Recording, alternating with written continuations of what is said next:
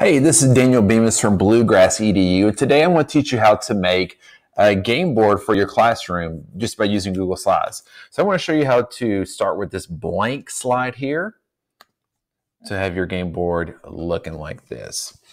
Um, so when I'm creating the game board, I have five activities for the students to work on. Also, I throw in uh, different YouTube videos.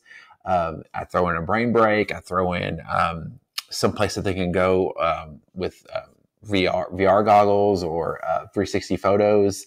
Um, also include a YouTube playlist that the students can, you know, watch more videos about. Um, so there's lots of stuff that you can add to these game boards. Uh, so let's go ahead and get started here. So I got my blank slide right here. The first thing you want to do, you want to go to the Shapes tool. Go to Shapes, and then I'm going to start with a square. Okay. Now I'm, I'm going to rush through this because um, this this video would be like 30 minutes long if um, you know if I was to really really take my time. Uh, let's see. Want to get about 13 boxes. One, two, three, four, five, six. So, okay, and then you kind of want to move them around. Get them. I want to get like a starting position, and you want to make it. Uh, look like the game of life. Uh, trying to think of some other board games that kind of where they just kind of the, like the board just like moves around, uh, kind of snakes around. You don't want to make it like well, I guess you could make it like Monopoly if you wanted to. All right, so I just start getting these boxes, start putting them together. Um, and so when you're making these, you kind of want to plan your unit, like what activities you want them to do. Um, you can have a game board for uh, like week one of your unit, or like week two, week three. Um, you can have your students, you know, work on that for uh, distance learning. Uh, when I first started doing distance learning, I just had the students work in Google Docs, and um, they were reading like PDFs and having to do that.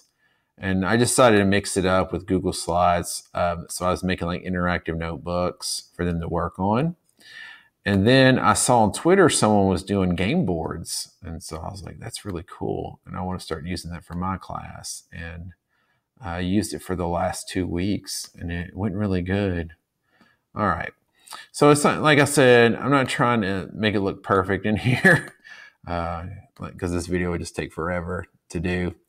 Um, so let's see, 1, 2, 3, 4, 5, 6, 7, 8, 9, 10, 11, 12. Let's do. And what's cool about Google Slides is you can make copies of your presentation. So once you once you get it like your board set up, like you can make a copy. And so like if I was doing like the 13 colonies or American Revolution, uh, you're just going to make a copy, entire presentation, and then I just delete all, like I just, um, you know, change the links, change the pictures, and that way I have a game board for that unit. Um, so let's see, let's scoot that a little bit right there. This could be like a, I don't know, like a picture or something or a video that the students could click on, you know, something just right there. All right. So you also, when you're doing this, you want, you would want to have a start and a finish uh, for your students. So let's get start to let them know where to begin. You can use whatever font you want to. Doesn't, you know, whenever you get your theme set up, you can change the font around and the color and all that. All right. So I can turn it just like that. You can, you know, you can mess with the spacing too if you want to get it in the middle there but we're just I'm just trying to just show you the basics and then let you all just work on it, design it however you want to. All right. So we got our first activity. Uh, it's going to be Quizlet. So I just copy it, go to my game board, go to the link here. Oh, sorry, click on the box. Okay. And then you put the link. Oh, no, no, no, no. Scratch that. That's if they click, like if you do it on an image. My bad there. All right, let's do this. Number one, vocab practice. So highlight it, do the link, hit apply. And so when the students click on, click on that, it's going to take them to their uh, first assignment. And I also like to have uh, like arrows pointing to what assignments they have to, to work on. I think I did like uh, Mickey Mouse hands for, uh, for that. So if you just want to just type in arrow, and you can have like arrows that point to what assignments they need to work on. Um, like what's their first assignment, second assignment, third assignment. Let's size it down a little bit. And then you can turn it. Bring it up here. And there you go. show them where they're where they need to work on. Uh, if you want to uh, change the color, just go to color fill, and let's just do blue. And then you can do you can change the font too if you want to make it stand out more. Oh, that's highlight. You know, it's whatever you want to do. You can change the font, whatever, but I'm just trying to rush through this. That way y'all can have time to work on it. Choose another color. Here I can insert an image or a YouTube video, whatever you want to do. Um, so here would be assignment number two. All right, we'll change the color to blue. Uh, and I want the students to work on this document. Okay, uh, so what you're going to do is you see where it says edit right here. You're going to delete that and you're going to type in copy. Okay, so when the students click on this, it makes a copy for them. Um, the, and I learned this recently. I've been using Google a long time, and I didn't know how to do this, and so I finally figured it out. Uh, so you had copy, and then assignment number two, Boston Massacre Google Slides. Hit apply. And then when the students click on that, there it is right there. And so they click on it and it should ask if they want to make a copy. And so they click on that and then they just share that with you. Uh, so that's super easy.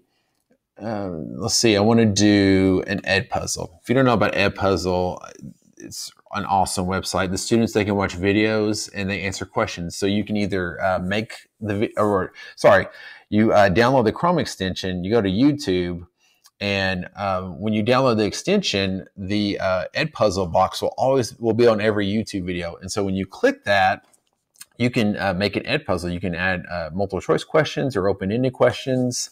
Um, so here's one that I just searched. And so you just hit copy. You can go over here. And let's say we're just going to do it on this box right here. And then number three, Boston Massacre Edpuzzle.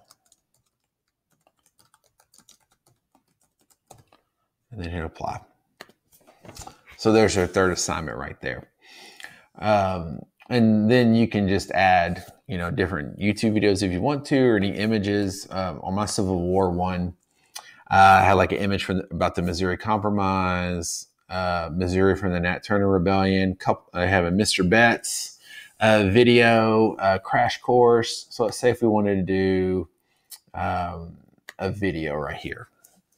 The bot, let's do a Mr. Beat uh, meme story. So you go to insert video. Uh, you can either copy or paste the link or you can uh, search it. So I just click on this video right here, hit select. And then I should be able to resize it. I can put it in a box here. Resize a little bit more, that way it fits in there. So there you go. And so the students, they can watch a video as they're working through the game board. Um, next thing you can do is you can either do a screencast like I'm doing right now to kind of show, uh, to tell with the students how they're going to work the game board, or you can do a Flipgrid um, and so Flipgrid, they you can uh, so you can do the same thing. Like you can screencast, you can show them what to do, and then the students can type their questions or they can uh, record their questions for you. So I'm gonna uh, I've already already made one. So you just hit copy, and then uh, you can to make things fast here. I want to copy this image from uh, one of my old game boards. Hit paste. So there it is right there. I'm gonna get rid of this the link from the, the Civil War, and I'm gonna put um, this new link right here for them. So just hit the, the link there, paste it, hit apply, and then there. When the students click on that, um, they can watch the, the video to see how they need to work on that. Okay.